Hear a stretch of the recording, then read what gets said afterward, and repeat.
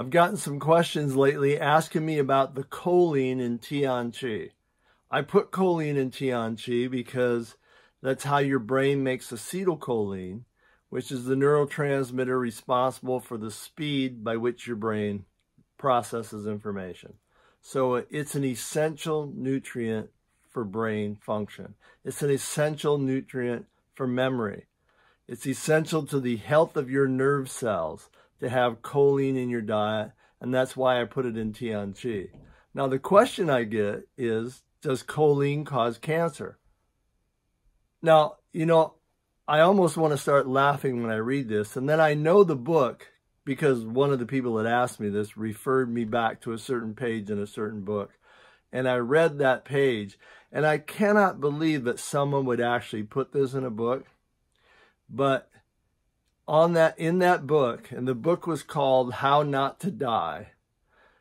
Basically, it said that they did a self-reported study. In other words, they took a bunch of information from people that tried to remember what they ate in the last year and wrote it all down and sent it in. And then they went through this information and they figured out um, that most of the people that had cancer ate certain protein foods, which basically are every protein food known to man. they ate chicken, they ate eggs, they ate red meat, they ate pork, and they ate fish.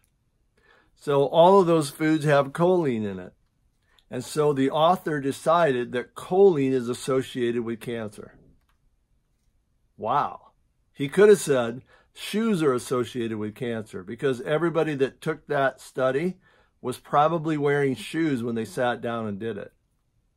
So, I mean, I can't believe that that made it into a book that choline would be associated with cancer. It's an essential nutrient for your brain. Your brain will not process information without choline, without the ability to make the neurotransmitters that are associated with choline.